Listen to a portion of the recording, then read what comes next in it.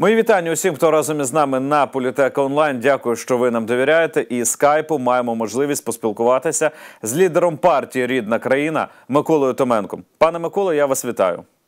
Вітаю, пане Миколо. На цьому тижні український уряд е, вирішив продовжити карантин до 24 квітня. Зберігається режим е, надзвичайної ситуації по всій території держави. На вашу думку, наскільки виправданим є такий крок уряду, і як українським громадянам в такій історії, в такій ситуації, я би навіть так сказав би, суто економічно прожити?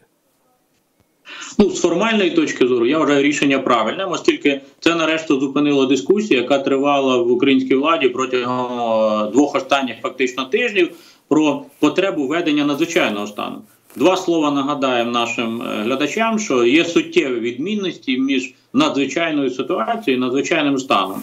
Надзвичайна ситуація випливає із відповідних документів, зокрема кодексу про е, цивільний захист населення, і е, передбачає е, відповідні процедури пов'язані з тим, щоб вибудувати вертикаль влади від уряду відповідальної особи до територіальної громади тих людей, які відповідають за боротьбу або вірусною чи іншою епідеміологічною загрозою.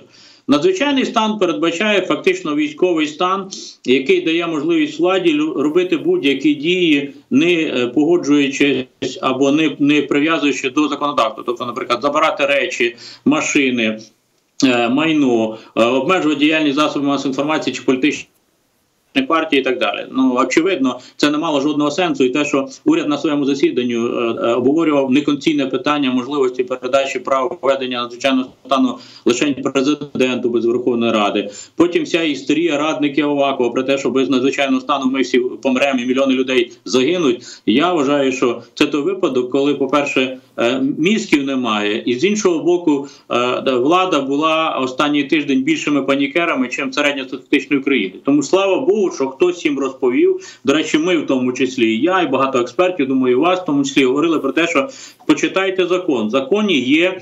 Е, правильна норма, яка називається ведення надзвичайної ситуації державного рівня. Що це означає? Це означає, що всій країні немає лише надзвичайної ситуації в одних чи інших областях, бо закон передбачає, точніше кодекс е, передбачає, що якщо надзвичайна ситуація ведена більше як в двох-трьох областях, треба по всій країні. Так. Це ще важливо з міркувань того, що не буде 10 стандартів. Тобто вся країна повинна не мери повинні привизначатися, вся країна. Якщо, наприклад, Магазини закриті, то магазини закриті. Якщо дитячі майданчики заборонено бути дітям, значить воно заборонено. Тому я вважаю це хоч запізненням, але е, в принципі це е, правильне адекватне рішення. Але це правильне адекватне рішення треба підперти відповідно соціальними економічними рішеннями. Е, для того, щоб люди розуміли, що ще фактично місяць їм треба якось вижити. І от з цим проблеми, оскільки ми ще не бачимо остаточної версії і змін до бюджету і всіх законів, які передбачаються, ми попередні версії бачимо. І з цих попередніх версій випливає, що ну нелегко буде вижити українському народу до 24 квітня. Е, пане Миколо, якщо говорити про е, ті е, заплановані зміни, які передбачаються внести саме в головний кошторис нашої країни, скажіть, будь ласка, от зокрема і нашим глядачам, про які зміни йде мова, щоб люди якось були обізнані, щоб наші громадяни були підготовленими. До чого варто готуватися? Ну я умовно так, щоб популярно, от я аналізував, хоча аналізував так само, як і ви. Тобто аналізував, ми ж не маємо тексту. Це біда, як я кажу, другого тимчасового уряду Зеленського, значить, який продовжує погану традицію першого тимчасового уряду. Е, Зеленського, що документів вже ніде немає. Тобто я опираюся на виступи депутатів на вчорашній е, на нараді лідерів фракції, опираюся на повідомлення міністерств, відомств, вузів, які е, ну якби шоковані деякими цифрами. Тому із того, що мені вдалося зібрати, значить, це дає підстави мені говорити, що оця версія так званого карантинного бюджету від другого тимчасового уряду Зеленського Шмигаля, це е, бюджет, як я називаю імені Попандополу. Такий був персонаж, знаєте, Василій Малиниці, який е, справедливо в лапках ділив бюджет і заклав основи нинішньої бюджетної політики, е, як вони використовують. І що там вийшло? Там вийшло, що в більшості сфер щоденного життя українського народу кошти е, секвеструються, тобто зменшуються, а кошти на видатки органів державної влади, правоохоронних органів, судових органів, е, прокуратури, місцевої влади фактично залишаються. Ну для прикладу. Е, ну, кого не жалко, як завжди нас. Да? Значить, Міністерство культури е, скорочений бюджет по більшості параметрах на 41%, практично наполовину. Е, е, спорт скорочено, навіть якщо забрати кошти на Олімпіаду Паралімпіаду, тому що її не буде в цьому році, на 43%. Е, освіта, там достатньо великий бюджет, ніби цифра мала на 5%, але там забираються достатньо серйозні речі, наприклад, фінансування науково-дослідних е, проєктів, які пройшли випробування, є співфінансування у них е, з міжнародними проєктами, тобто це забирається. Забирається частина коштів на Підтримку молодих вчителів і е, е, шкіл забираються певні програми пов'язані з е, підтримкою фермерства і е, сільськогосподарських проєктів. Е, Там, наприклад, молодіжні програми ну фактично зліквідовані всі, більше 90% забираються. Е, І натомість, да, от ми сказали, освіта, спорт, е, там культура. Натомість управління е, справами при президенті скорочується на 2%. Міністерство внутрішніх справ скорочується на 0%, тобто ні на копійку не скорочується. Таке враження, що ВЕС не, не було показушних навчань, всяких виставок. і та далі, які в принципі зараз не потрібні. Е, На 2% скорочується Верховна Рада, офіс генерального прокурора, е, практично не скорочується управління охорони посадовців. Просто я це називаю. Може так для глядачів було зрозуміло. Наприклад, е, охорона посадовців це мільярд. Більше як півтора мільярда. Мільярд здається 580 з чимось мільйон. Це фантастична сума грошей, якби на сьогоднішній день. Пане е, так.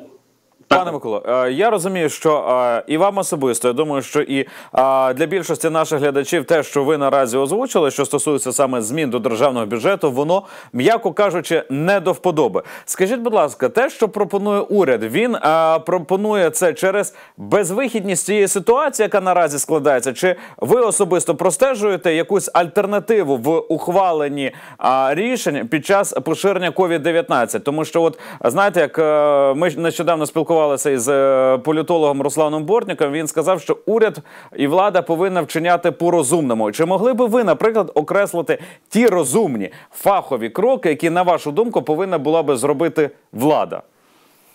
Ну, дивіться, я виходив, я виходив, ну, перше, з принципу справедливості, е, е, навіть не з, не, не з принципу, що у нас карантин, тому що в нас в Конституції, коли йдеться про бюджет, написано є слово справедливість. Справедливість означає, що всі повинні поділитися е, з охороною здоров'я, передовсім да, забезпечення е, життєдіяльності людей.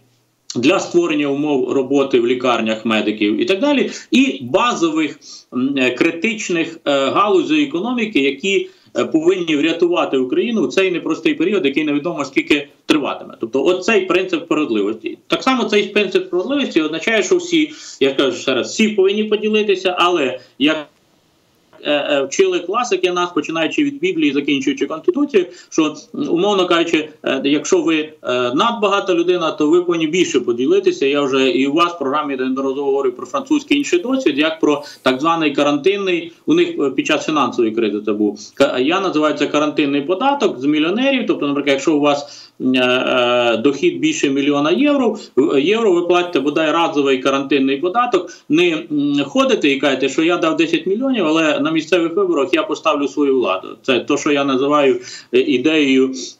Е, Зеленського, коли він олігархів забрав і, фактично е, призначив олігархів сенаторами або комісарами в області. Це неприпустима річ, як на мене. Є місцева влада, яка уповноважена, вона повинна приймати рішення, а олігархи е, повинні заплатити умовника цей разовий податок і допомогти. Е, Допомогти українському народу, а не е, дати гроші і керувати областями. Тому е, треба приклад показувати. До речі, вчора я добрий, хочу похвалити фракцію Слуги народу. Тобто, ви знаєте, що і я в вашій програмі неодноразово говорив про несправедливість бюджетного фінансування партії спільними зусиллями ми половину грошей забрали, але половина грошей залишилась. І от під нашим тиском.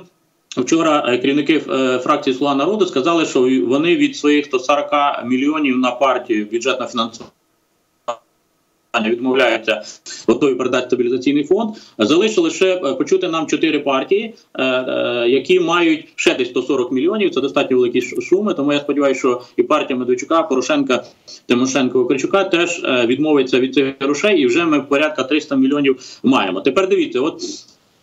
Я починав, бо оскільки це уряд і депутати, і офіс президента. От треба приклад показувати. Депутати мають так звану е, другу зарплату. Це на депутатську діяльність. В середньому це десь 35 тисяч гривень е, в е, місяць. Тобто, якщо порахувати по року, ну яка депутатська діяльність? Вони ж не, не проводять прийом громадян сьогодні, значить вони над законодавством не працюють, але менше з тим. Тобто цю другу зарплату так само, звичайно, треба стабілізаційний фонд передати. Це теж порядка 200 мільйонів. Дивіться, вже ми з вами е, півмільярда знайшли. Значить, це там голос України. Ну який голос України зараз виходить? Тобто, ми тільки по Верховній Раді з вами можемо зараз навчання, відрядження міжнародні там конференції далі до мільярда. Тобто Верховна Рада коштує нам більше трошки двох мільярдів. Тобто мільярд ми забираємо абсолютно спокійно. Тобто, І так пане Микола, можна зараз тут при- зібрати кошти. Я маю на увазі е, з того, що ви е, озвучили, і не треба нам звертатися про допомогу до міжнародного валютного фонду, так?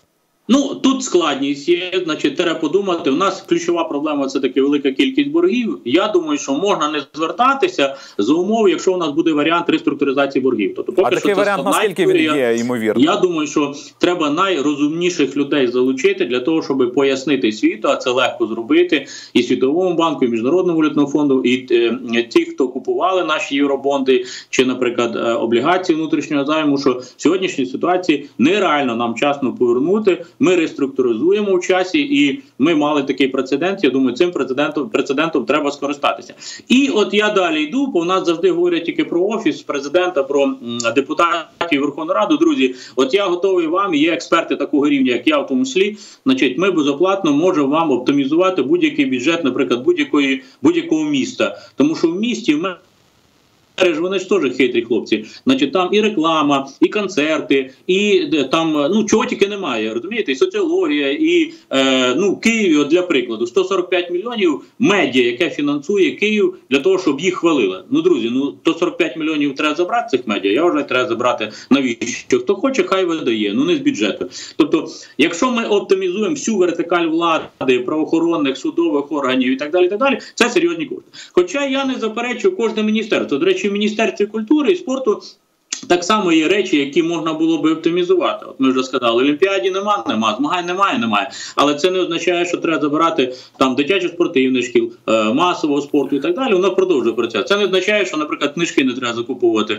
Це навпаки означає, що якісь гроші, які зекономили, краще зробити. е, Передбачити на створення онлайн уроків, онлайн платформ освітніх, е, цифрової цифрової Цифрування книг, е, онлайн там е, театральних постановок. Тобто е, це не означає, що культури забрати вона не потрібна. Ну, те, що а стосується ще й дистанційного навчання, перерозподілити ці кошти, тому що весь світ збільшує на освіту, культуру, науку. А в нас виявилося, що це самі крайні позиції. Е, е, Влада зберігає гроші, а система влади, правоохоронні органи і так далі. А культура, освіта, наука, спорт і так далі з неї забирається. Тому абсолютно інший підхід я пропоную, і можна це оперативно оптимізувати і зробити. І звичайно, треба страхувати людей, тому що от мої спілкування показують, що що б Зеленський не говорив, що б уряд не говорив, насправді велика кількість людей відправлена за власний рахунок. Якщо два тижні. Вони були за власний рахунок відпустці. Це ще куди не йшло. Ну ще місяць це критична ситуація. Тому Пане треба знаходити варіант. Е, От навіть в цьому е, контексті, е, контексті зберігати мінімальні заробітні плати. Так, пане Миколо, навіть в контексті того, що ви кажете, що люди здебільшого пішли у відпустки за власний рахунок, навіть е, вже було проведено відповідне соціологічне е, дослідження, де більшість респондентів сказали, що вони не знають, як прожити за ті кошти, які у них є станом на день сьогоднішнього, впродовж наступних чотирьох тижнів, е, тому що ну карантин він же триватиме до 24 а, квітня, і невідомо ще чи закінчиться він е, саме в цей день. От е, які ваші от поради, як українцям а, протриматися, як е, прожити, як вижити, що робити в цій е, ситуації? Можливо, ви якось із юридичного боку зможете е, порадити, як е, вести е, спілкування із роботодавцями е, в цій е, ситуації? От Що робити людям? Е, Ну, людям дуже склад- складно. Е, Якраз ми знову повертаємося до влади, до, до місцевої, до центральної, тому що сьогодні ну ви попадаєте ну, якби патову ситуацію. Ви ж не можете е, вимагати зібрати зібрати, наприклад, там е, збори проспілок і е, да, тиснути на роботодавців. Це треба було раніше. Сьогодні, ну, якби ви попадаєте під е, відповідальність адміністративну, а може і кримінальну, значить, якщо будете збирати людей і так далі. Тому сьогодні, чому я апелюю до місцевої і центральної влади, що тут повинні бути е, страховочні механізми пов'язані з відповідними рішеннями. Тобто, з одного боку, е, певні пільги преференції для роботодавців, а роботодавці адекватно повинні забезпечити. І звичайно, жорстке покарання. Ну скажімо, як от підвищення цін е, невиправдане, чи скажімо, відправлення або скорочення людей, або відправлення відпустки за власний рахунок. Тобто, наприклад, я як пересічний працівник, наприклад, комунального підприємства або ще якогось підприємства, повинні знати, що такі рішення Верховна Рада прийняла, і я тоді вже апелюю. Е, Я можу, наприклад, там я знаю групу створити свого підприємства в, е, е, в соціальних мережах, значить, і атакувати владу. Що дивіться, от відповідності до рішення Верховної Ради, постанови Кабінету міністрів, чи там. Е, Місцевої влади ви не можете там скоротити, не заплатити і так далі. Тобто мені треба на щось опиратися. Тому оцю базу повинна зробити центральна місцева влада. А ми тоді вже будемо самоорганізовуватися в соціальних мережах в інший спосіб і вимагати, і умовно кажучи, там надсилати до керівників е, представників по кілька людей, один чи два чоловіки, який буде, от скажімо, ми маємо таку кількість людей, таку позицію, і, і в такий спосіб робимо. Тобто самоорганізація в соціальних мережах, якби онлайн мітинги, коли треба, чи онлайн петиції, чи онлайн протести. Але ще раз влада це повинна зробити. Розумієте, що мене тут непокоїть? От в історії з парламентом уже два тижні йде дискусія не про те, що Верховна Рада повинна прийняти, а дискусії. Де їм забратися, друзі? От я знав, що у Верховній Раді, е, е, значить, багато телепнів теперішніх. Я я дізнався, що там є навіть гвалтівники. Ну те, що там така велика кількість Пане страховиків, людей, ну в парламенті які у нас завжди на було багато телепнів це в будь-якому скликанні. Тобто вони чи на стадіоні, чи онлайн, чи дистанційно, чи значить ще в якийсь спосіб і так далі. Друзі, ну якщо ви боїтесь, напишіть заяви, підіть, значить, і, і сидіть у себе десь вдома і так далі.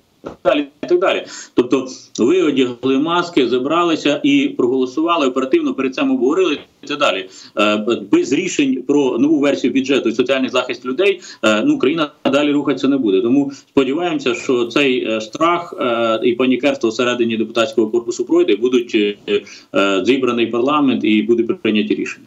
Гаразд, пане Миколо, я вам вдячний за цю розмову. Микола Томенко, лідер політичної партії Рідна країна, мали можливість поспілкуватися скайпом. Я дякую всім нашим глядачам за увагу. Бажаю міцного здоров'я. На все добре і до побачення. Дивіться політеку.